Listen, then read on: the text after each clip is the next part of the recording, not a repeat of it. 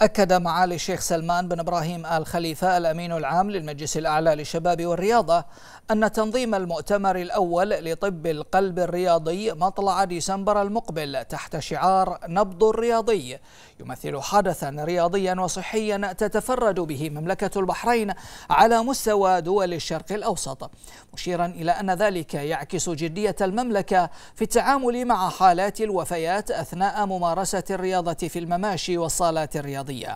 مؤكدا أن القطاع الصحي في المملكة يشهد تطورا مستمرا في ظل المسيرة التنموية الشاملة التي يقودها جلالة الملك المفدى وتوجيهات سمو ولي العهد رئيس مجلس الوزراء الموقر المستمرة لتطوير المنظومة الصحية في المملكة. وثمن معالي الأمين العام الرعاية الكريمة لسمو الشيخ ناصر بن حمد آل خليفة ممثل جلالة الملك للأعمال الإنسانية وشؤون الشباب لأعمال المؤتمر والحملة التوعوية. مشيرا إلى أن تلك الرعاية تأتي في إطار متابعة سموه المستمرة لمستجدات موضوع حالات الوفيات أثناء ممارسة الرياضة وتوجيهات سموه لتنفيذ ما صدر عن اللجنة المكلفة بدراسة هذا الموضوع من توصيات وخطط عمل.